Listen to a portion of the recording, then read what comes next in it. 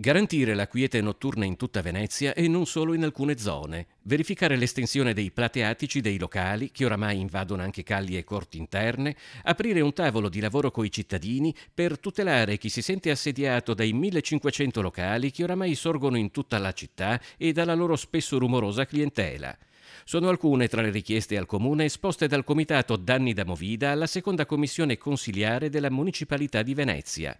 La cosiddetta ordinanza antimovida del Comune, di cui si chiede il ritiro, è giudicata completamente insufficiente. Non c'è stato nessun confronto con la cittadinanza, il confronto è stato unico con le categorie e per cui il, il, documento che ne esce è un documento totalmente squilibrato. Riteniamo che la salute non sia di destra, di centro, di sinistra, ma sia un fatto eh, personale totalizzante.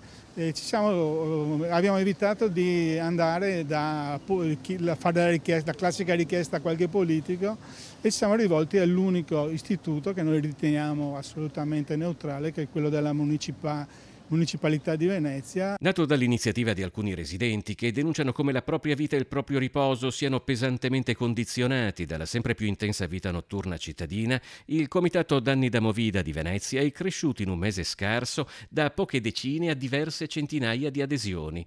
Peraltro, in mancanza di soluzione, le azioni legali non sono escluse. Al momento il dialogo col Comune a che punto è? credo che sia un dialogo tra sordi perché ci vengono dette imputate alcune cose che non stanno in cielo né in terra in sostanza.